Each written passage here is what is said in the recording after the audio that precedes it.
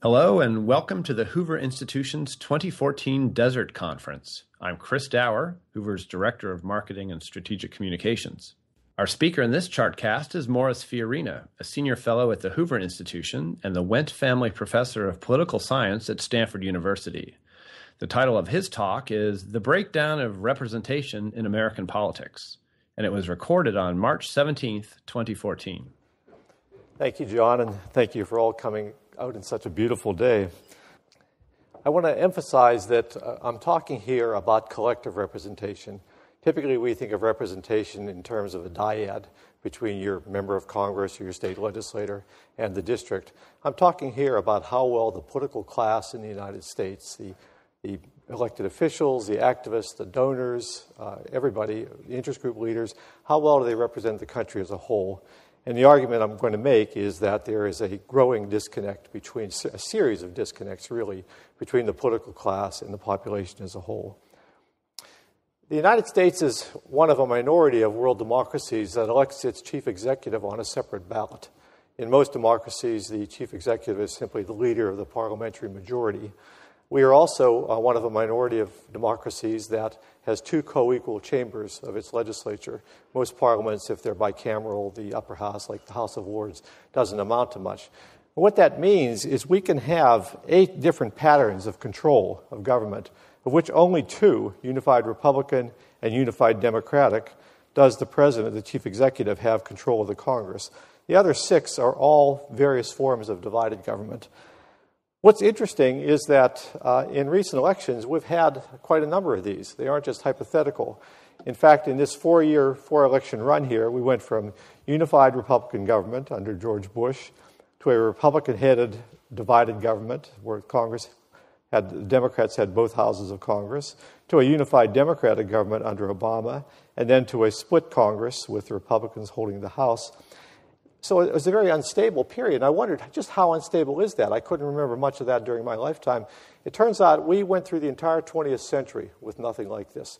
You have to go back to 1886 to 1894, where we find a run of five different patterns of government. Had Romney won the last election, or had the Republicans not thrown away so many Senate races in the last two cycles, we actually would have matched the historical record for instability that in terms of stability of control, we are in a remarkably unstable period. Now, that contrasts with a much more stable electorate. That this is the self reported partisanship of the American electorate from the National Election Studies. The top line are Democrats, blue. They lost their New Deal majority in the 60s. They've been just basically since the Reagan era, coming in around 35%. Republicans have never quite gotten back to where they were during Eisenhower. They're about 25 or 30 percent. And independents picked up all the losses from the Democrats. They've typically been the actual plurality uh, affiliation in recent years.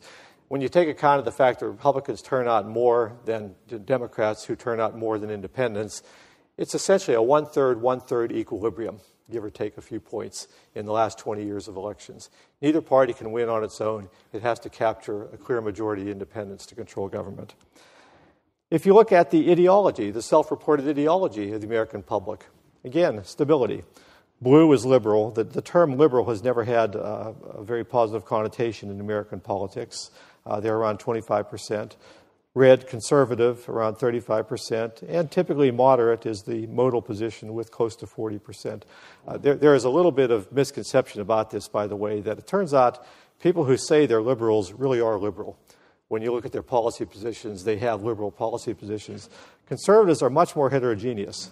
That Rush Limbaugh and people in Washington think everybody who says I'm conservative agrees with them. Conservatives are actually quite a bit across the board. You'll find a fair number of liberal positions in, among people who say they're conservative. So, in fact, again, the, the, the disparity or the, the, uh, the differences among the ideological groups are close to being even.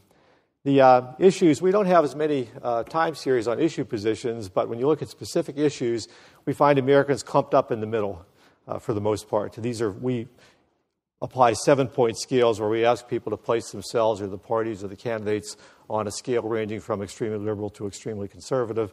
People like the middle. There are few exceptions. Healthcare became more polarized naturally uh, during recent years with people moving left and moving right.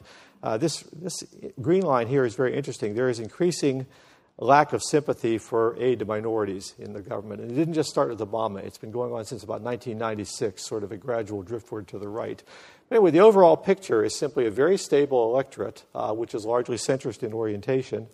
And, uh, oh boy, it didn't come out.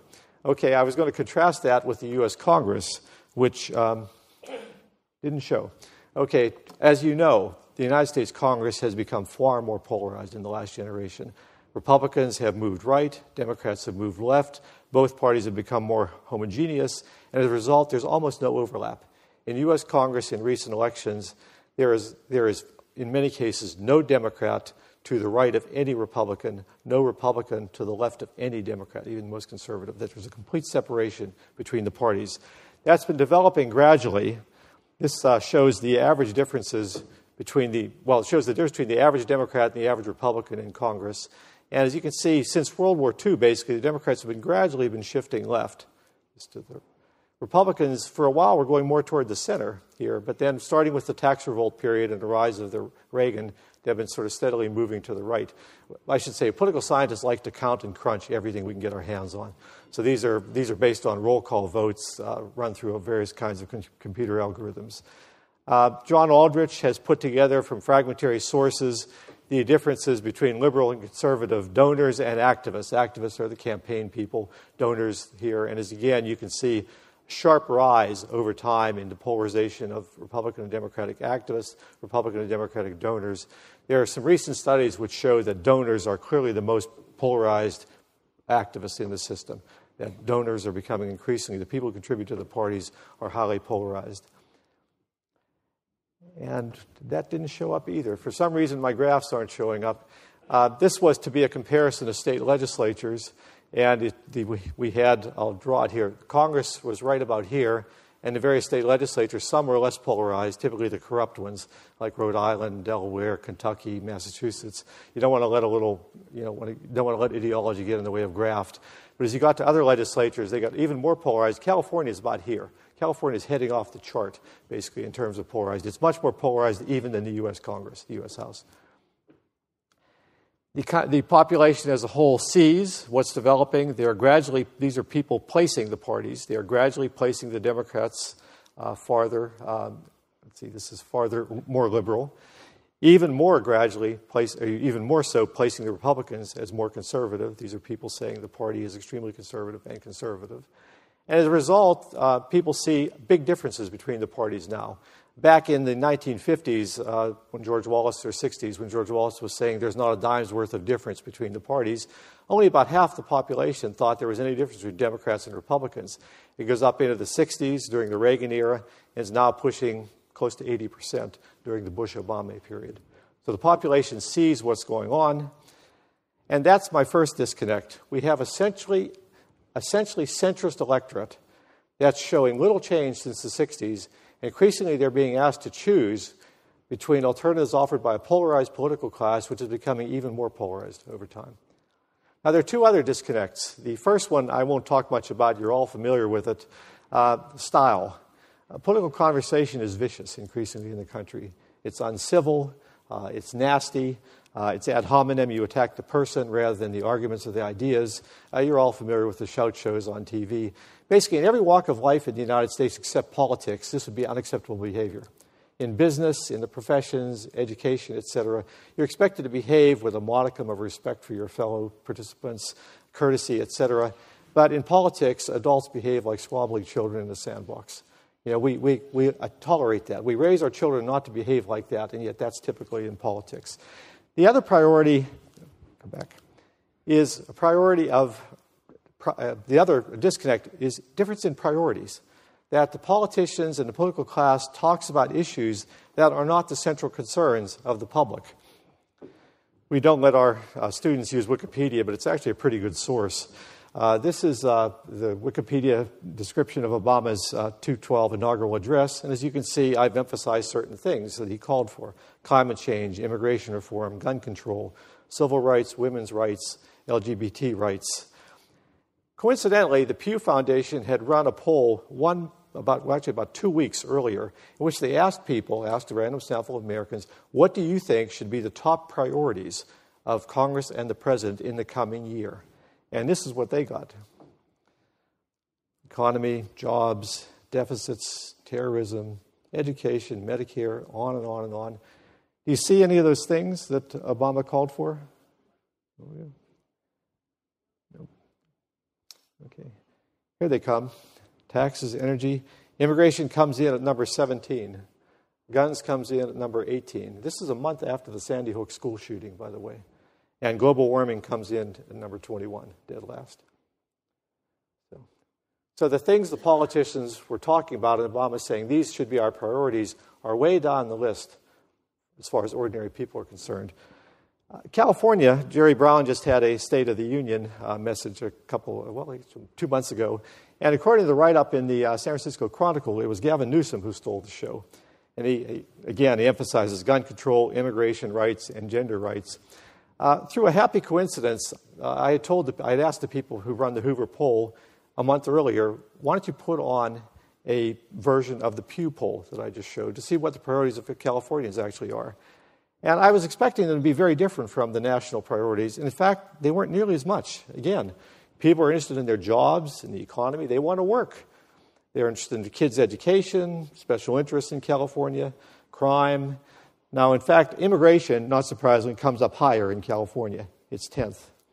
But still, where are all those things that were emphasized in the previous slide? Well, still keep on going way down. Uh, we get to global warming at number 19, uh, gun laws at 20, and the only thing that comes in lower is the high speed rail project that Jerry Brown has been pushing. Yeah. So even in California, which everybody thinks of as a highly liberal state, just deep blue state, nevertheless, there is this big disconnect between what the Democrats in the legislature want to do and what ordinary people in California think the state ought to be doing. Now, it's not up to me to tell people what's important. My, my point here is simply that there is this disconnect between what ordinary Americans want from their political class and what the system is, is providing, what the system is emphasizing. Not surprisingly, confidence in Congress, which is never high, has been steadily declining since they asked, first asked the question. It's been approaching 10% historical lows recently. George Will had a column and he said, Who are these 10% who still have a great deal of confidence, in, in Congress? And, and it's not just that people are in a bad mood about everything, um, this is a comparison. Gallup asks this question every year about uh, confidence in following institutions. And here's Congress in the most recent poll dead last. I mean, Congress is behind HMOs, behind banks, uh, behind everything you can think of, really. Yeah.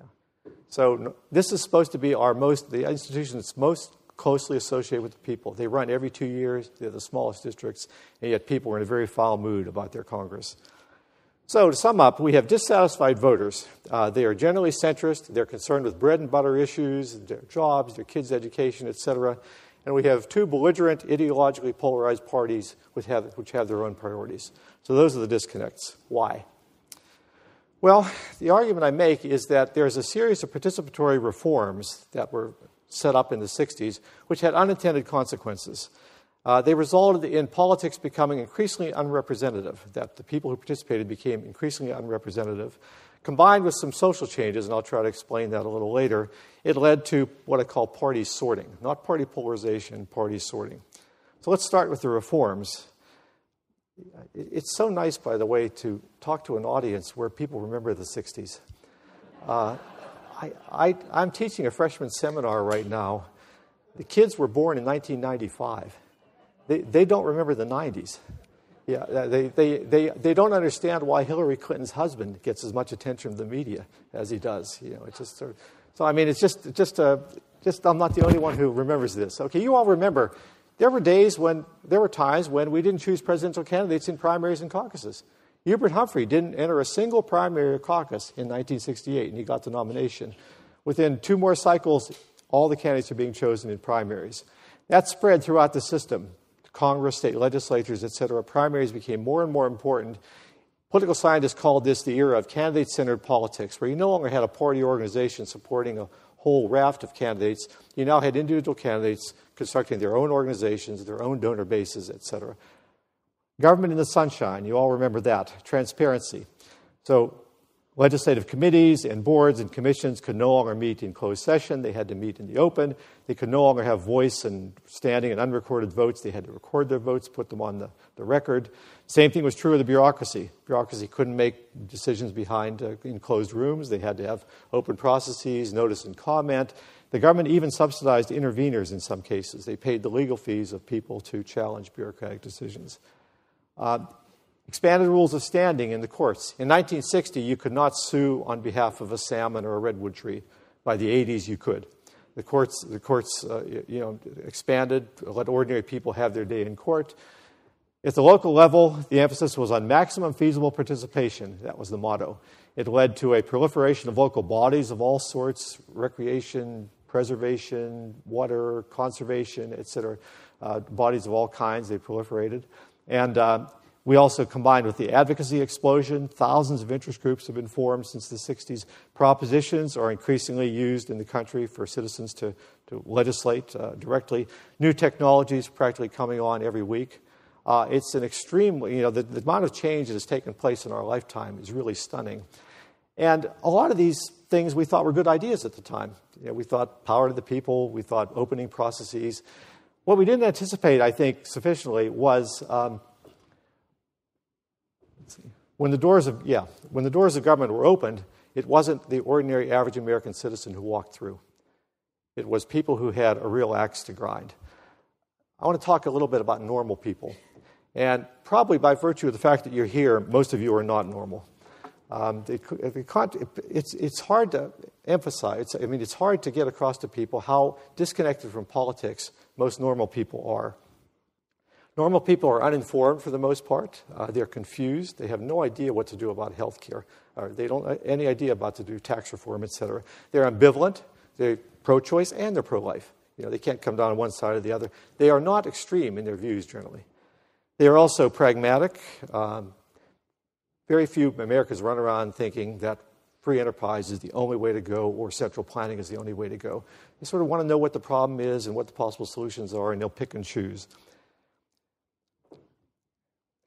Probably the Wall Street Journal is pretty popular in an audience like this. The print circulation of the Wall Street Journal is one and a half million per day. There are 230 million eligible voters in the United States. O'Reilly is the highest rated political show on TV, 3.6 million. So that's about 1.5% of the eligible voters uh, in the United States. Some of my political science colleagues get very upset about Fox News. Uh, I say, really don't waste your mental energy. That's about 1% of the uh, eligible voters in the United States are watching every day. Some of my Hoover colleagues uh, think Rachel Maddow ought to be tried for treason. Um, we're talking about one tenth of 1% of the eligible voters in the United States. That's her, her audience. In contrast, American Idol picks up 29 million people uh, on average every week. Dancing with the Stars, Two Broke Girls, on and on. Now, granted, some of these are adolescent girls who can't vote, but nevertheless, uh, you get the point here that that compared to almost anything else, politics is a real peripheral interest among people. Now, at this point, somebody will, oh, there, I, I, didn't know about this until a few months ago that there are TV channels on YouTube. In fact, I think Hoover may have one. Um, but every time this one channel goes up, Epic Rap Battles of History, they put a new one up. They beat, beat O'Reilly uh, in terms of their, uh, their audience. At this point, somebody will say, well, what about the internet? It's only old fuddy duddies like us here who read the newspapers and watch TV. You know, all the young with it people, they get their news from their tablets and their cell phones. Young people, any, I don't see anybody on their cell phone back there. Maybe, you're, you're Chris, yeah. Um, it's actually not true that the, uh, the studies are proliferating, and they suggest that uh, despite the plethora of information that's available on the internet, it actually gives people the internet gives people more opportunities to avoid it, if anything else. Here's a recent big data study. You've probably all heard about big data, it's the next big thing. And I've seen a lot of big things in my life, and most of them aren't that big, but I think big data really, uh, really has some real potential. This is a political segregation study. You've probably seen articles about how the internet makes it possible for people to avoid any kind of conflicting information. They can go only to websites which reinforce their point of view. And so we are going to end up with two sides that are living in their own universes, have no contact with each other. All the evidence so far is negative. And here's the most recent study. This was conducted by Facebook Research over a three month period in 2013. Uh, they monitored the search behavior of 1.2 million Bing Toolbar users. These people had opted in, they had, they had said you could use their information. And they found these people had gone to 2.3 billion page views of the top 100 news sites.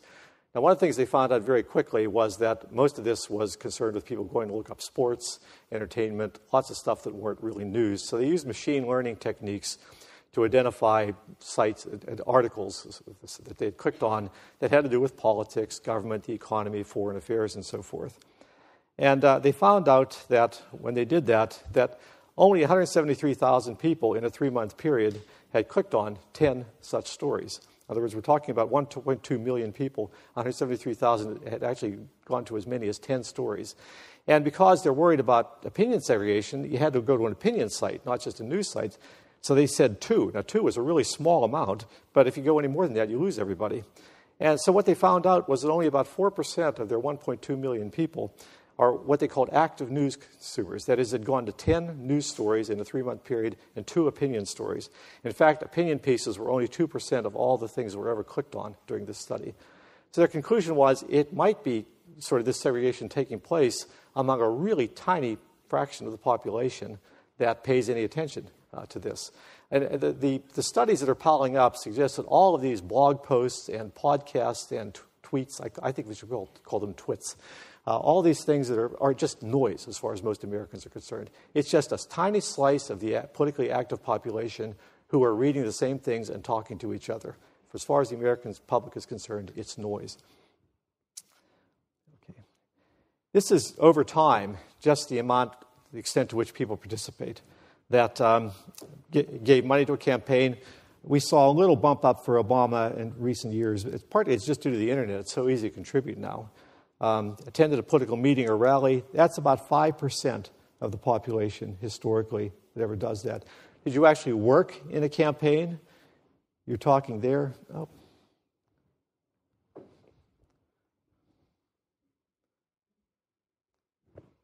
Yeah, work right there. Okay.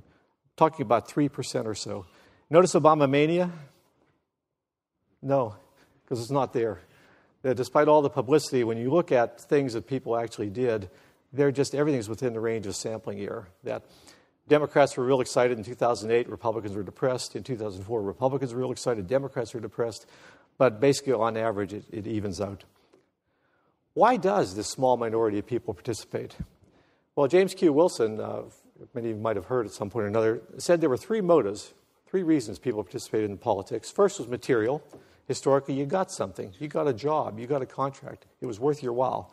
Solidary, uh, these are social, that your organization uh, tried to get you out to vote, your union, your church, your club, etc. And purposive, people who did it for ideological reasons. They want to save the whales or end global warming or whatever else they're, they're interested in doing. Now, historically, material incentives have declined. Civil service has wiped out much of the ability of politicians to give jobs to people, and public sector unionization has done a real good job on the rest. So politicians don't have the jobs to distribute anything like the extent to which they've had in the past. We've passed conflict of interest laws. Uh, a wise old political scientist once commented that conflict of interest historically was why people went into politics, and now we've made it illegal. It's a crime. Universalistic policies, that politicians no longer hand out things as favors, uh, you're entitled to them as a matter of law changes in political culture. Uh, even if we wanted to go back to the smoke filled rooms, uh, we couldn't. Um, no one would tolerate it. And the media, the media now are on the, on the scent. They, they look for any hint of wrong, wrongdoing. Never posit a good motive if a bad one is available. You know, try to find something uh, you can write up. And um, you all remember the Republican primary season. You probably don't. See, that didn't come out too. Maybe they will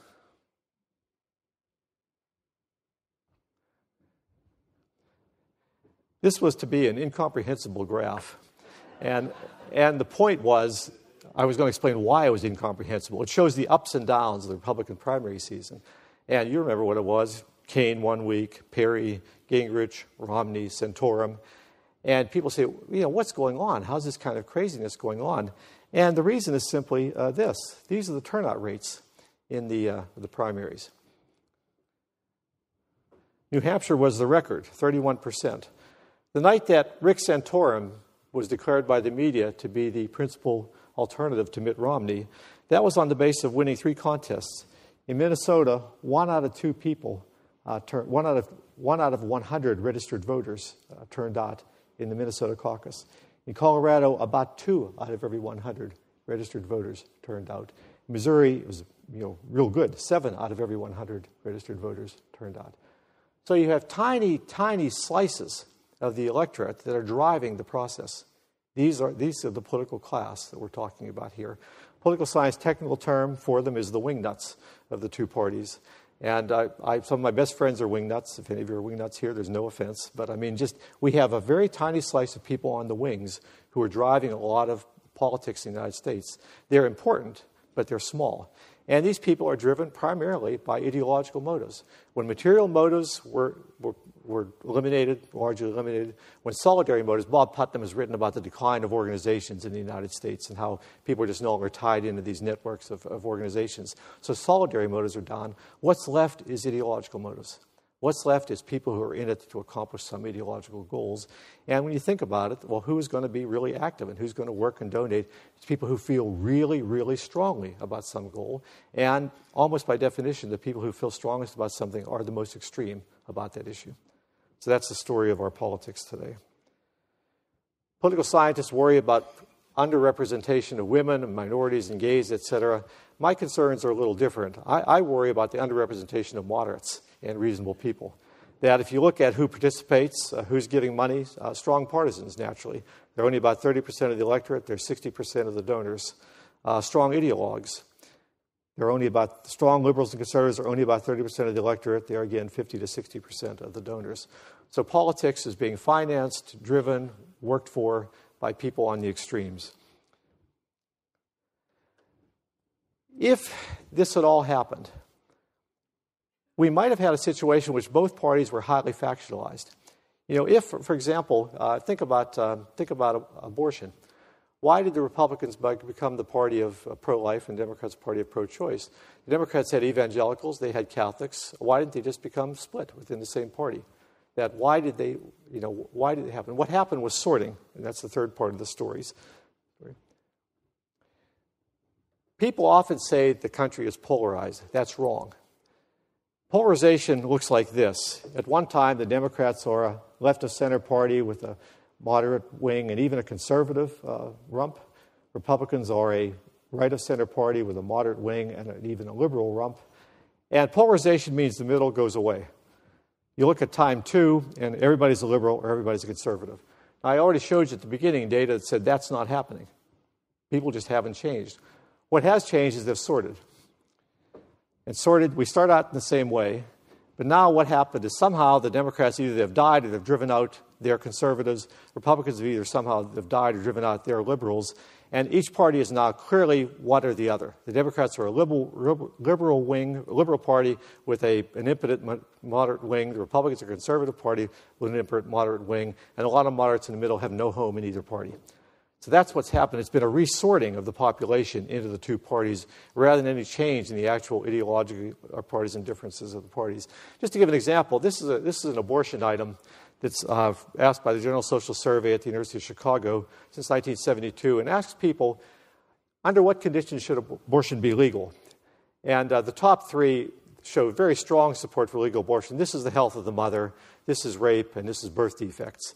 But then when it comes to things like the income status of the mother, uh, the um, let's see, married wants no more children, or just uh, see, not married, I guess, yeah, income. Then the population is much more split. It's sort of 40 to 50 percent. What you can see is it hasn't changed. It's been very, very stable over the years. Maybe a little, you know, turned on uh, in support for abortion in recent years, but basically remarkable stability. On average, people believe in legal abortion in four out of six circumstances. Now, here's how the parties divide on this. Um, blue as Democrats, red as Republicans. It took them, uh, on average, it took the Democrats and Republicans about 20 years after Roe to get on the right side of the issue. And in recent years, they've separated out some, they've, they've sorted. So Democrats are now slightly more pro choice than they used to be. Republicans are a little more pro life than they used to be. But that's in the population as a whole. What are the party platforms on this issue? The party platforms in 2012, the Republicans said never, no exceptions. The Democrats said anytime, any reason. I mean, I'm not exaggerating. If you read the platforms, that's what they said. Now, not even the strongest partisans in the electorate believe that. Uh, this is not just Democrats and Republicans. This is strong Democrats and strong Republicans. It's about one sixth of the population, about one eighth of the population here. One out of ten strong Democrats says abortion should never be permitted. Strong Democrats. A total of about a quarter say only in stringent cases. They're basically pro life. Among strong Republicans, 21%, one out of five says always. And another 15, Waffle would say for a clear need. Arguably, they're pro choice. So even among the strongest partisans in the electorate, they nevertheless don't sort nearly as well as members of Congress, National Convention delegates, the people who are really active in, uh, in politics. Why do they stay in the party if they're out of step? Because, as we saw earlier, for most people, this isn't an important issue. It's a, it's a low priority issue compared to the economic issues, the international issues, education, healthcare, and so forth. So even though we have party sorting going on, it's still very far from perfect in the population as a whole. Consider these issues race. Uh, back when many of us were in high school and college, um, race, Republicans were arguably the more liberal party. Students today can't believe that. But it was a Republican Chief Justice who handed down Roe v. or handed down um, unanimous decision in Brown. It was a Republican President, Eisenhower, who sent paratroopers to Little Rock to enforce the school desegregation order. It was a Republican Minority Leader, Everett Dirksen, who supplied the votes to break the Southern Democratic filibuster on the 64 Civil Rights Bill. You know, why, why did it work out that Republicans were the party of racial conservatism, Democrats liberals? Or I've already mentioned abortion, the environment. Uh, the EPA was set up under Nixon. Uh, Nixon uh, did a, the Clean Air Act was signed under Nixon. Uh, Nixon did a lot for the environment back then. Why is it the case now that the parties are uh, are clearly sorted on this issue? Well, that's a really complicated story, and I'll just try to show what I meant by on one case, which is race. That here's what I mean about social changes. Social changes occurring in the country that are seized on by strategic politicians to reshape electoral coalitions is what's been going on that uh, we have a northern migration of African Americans, that for most of American history, African Americans are a southern population. 90% begins to change after World War I and gradually goes down to about 50% by 1970. But still, in 1950, if you said, well, the term wasn't in usage, but if you said African American, most Americans would have thought of somebody in bib overalls standing in a southern cotton field, a sharecropper. That was what African Americans looked like. By 1970, the stereotype is somebody sitting on a tenement step in the northern city. There was this tremendous internal migration that took place. At the same time that was happening, the Sun Belt's growing. That the Northeast and the, and the Midwest are declining in population, the West and the South are increasing in population. And so you have a situation where in, in the 1950s, Richard Nixon and Martin Luther King are corresponding about how Republicans can get more support from African Americans. By 1968, Nixon has adopted the Southern strategy. Why the change? I think Republicans like Kevin Phillips and others, they looked at the demographics and said, what's happening is as African Americans move north, the Democratic Party becomes more liberal. They have, they have votes, black votes in the cities. It pushes them in a liberal direction. That in turn widens the tensions with them, between them and the Southerners. The Southerners become more conservative and more amenable to defecting. And basically, they drive a wedge on race, that that becomes the, the way that uh, that they realign the parties on race. And I think you can tell the same sort of story when you look at some of these other issues that it's strategic politicians looking at the social changes taking place that are uh, that they seize on and try to break up the other party's coalition and create new coalitions of their own. Go back to this instability I talked about earlier. Yeah, the reason this occurs, is, I think, is because the parties are so well sorted now that when they get in office, they, they basically have to get to the center to win. A Democrat builds the coalition from the center, the Republican from the left, the Republican builds it from the right, but you have to get the center, win the center to win. But then if you turn around and go left or go right once you've won, the people in the center say, I didn't vote for that. And so what happens is uh, George Bush uh, comes in, says, I earned political capital, uh, and now I intend to spend it. Uh, they get thumped, as in his terms, in the 2006 election. And in his memoirs, he says, Well, on second thought, uh, I may have misread the electoral mandate. Yeah. Obama comes in, big victory. You remember this uh, speech the night he claimed the nomination?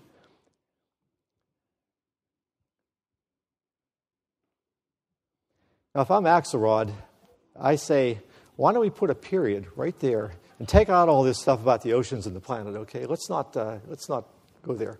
Yeah. So what happens is they come in, they govern like a responsible party, they pass the Affordable Care Act, and they get shellacked in the 2010 election. So it's this dynamic of the party winning, moving back to the left or right, and then getting shellacked. And the, the reason they do this is because the bases are now so polarized. The, the, the, the people who drive each party, the ones I've talked about, are now so polarized. When Obama won, this is, this is a, a great graph. This is how people perceived Obama, whether he was a liberal, a conservative, or a moderate. And when he wins the election, people aren't sure. They're completely up in the air. Is he a moderate or is he a liberal? 10% actually thought he was a conservative. Um, I don't know whether these are San Francisco Democrats who actually did think he was a conservative or, or what, but anyway, they, they sort of gradually declined. But as you can see, as time goes on, nine months, buyer's remorse. That basically they say, uh oh, we elected a liberal. We thought maybe he was a moderate. And uh, this is independence, Obama job approval. They're holding their, um, their judgment early on. They're saying they just, um, you know, they don't approve or disapprove. And he actually has good approval. They're, they're, they've left him by the first year, by the end of the first year. He's now underwater, disapprove more. He stayed underwater the whole time, remains underwater now. And so the Democrats, I mean, this is the Republicans' hope that enough of the middle will go back to the Republican side in the next election. This is what's been happening with independents in recent elections. This was the 2006 stumping. They turned 17 points against the Democrats, or against Republicans in 2006. Then they turned 18 points against the Republicans in 2000, or against the Democrats in 2010. This is a 35 point swing in two midterms. I've, I haven't seen a move this big in any demographic or political category in my lifetime. And 2014 looks pretty good uh, at the moment. I If the election were held today for Republicans in terms of independence. So we're going to get this ping ponging in terms of control as long as the parties sort of keep coming in and trying to implement their preferred platform as opposed to some more centrist, more reasonable platform. I mentioned that this is reminiscent of what happened in the late 19th century. And this is that period. We went through a period of 20 years where we only had two episodes of unified government. It was divided all the time. And it was also a period of highly polarized parties. This party where the Democrats and Republicans were really polarized. The, uh, there are always historical similarities, but there are also some very striking historical similarities between that period and today. It was a period of globalization then. British finance was building the American railroads and funding our industries. Uh, farmers in the Midwest were saying if you can keep the railroads from gouging us, we can ship grain to Europe at a competitive price. It was a period of economic transformation. Uh, then it was agriculture to the cities, uh, whereas today it's call it what you will, a communications revolution or an informational revolution, a post industrial, you know the terms. Uh, it was a period of great population movement, farm to cities, whereas today it's been frost belt to the sun belt. It was a period even more than today of mass immigration, and it was coincidentally a period of rising income inequality. Now, these kinds of social changes, they create tensions, especially when they come cumulatively and in a major way like this. And so the political order has difficulty dealing with them. They, they fracture old coalitions who split on some of the new issues. They suggest possibilities for politicians to create new coalitions. And I think we're in that same sort of era right now. Now, that era ended with the 1896 election when the Republicans won a decisive victory, and most importantly, they kept winning. You can't just win once like in 2004 or 2008. You got to govern in a way that the population keeps electing you. And they basically did keep electing Republicans until 1930. And so that's my story, uh, and i will be happy to take any questions at this point. But uh, I know the, the question I usually get asked is, well, how do we change this? And I can give you a real quick answer to that so you can get to lunch. I don't know. That, uh, that I don't see any way to change it. It's got to come out of the electoral arena somehow. For more information, go to hoover.org. I'm Chris Dauer for the Hoover Institution. Thanks for listening.